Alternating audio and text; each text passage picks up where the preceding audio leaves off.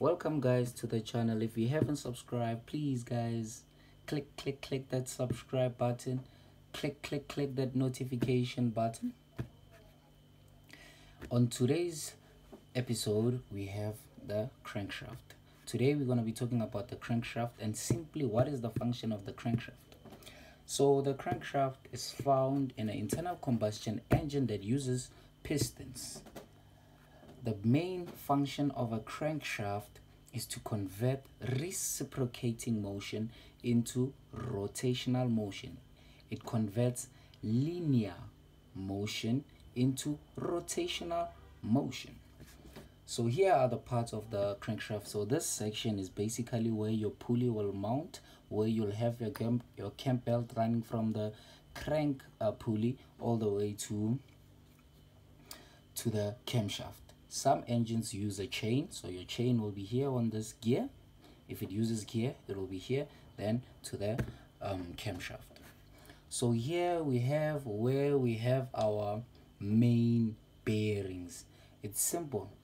If you don't know how to label it out you can just have a look at where your your your your pulley section is and just follow it this way. Simple. This is simple guys. Simple guys. You see this is simple. To your flywheel side. So just follow that line. Then you will know like here here here here and here sits your main bearings.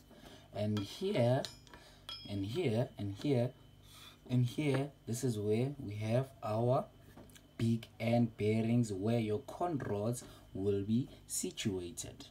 So don't forget the straight line here from your um, pulley to the flywheel section is where we have our main bearings. And then here and here and here and here we have our big end bearings that sit with the connecting rods.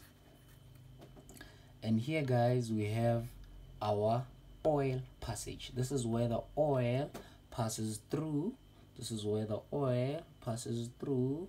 On these holes are called the oil passage to lubricate the bearing so that we do not have friction and end up killing the surface. Then we're gonna be we're gonna have a situation called where we ran a bearing and the engine has a knock.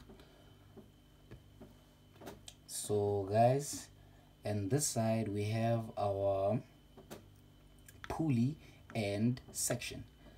Not pulley sorry this is your flywheel section. Sorry guys this is your flywheel section. This is where we find your flywheel. So this is your pulley section. This is your flywheel section. This is where we have your flywheel and moving to that side your gearbox. This is where the motion is going. So guys yes these are the functions of a crankshaft and the parts basic parts of a crankshaft. So please guys subscribe to the channel and click like and hit that notification bell so that we can keep learning. Thank you guys. Please subscribe to the bucket seat edition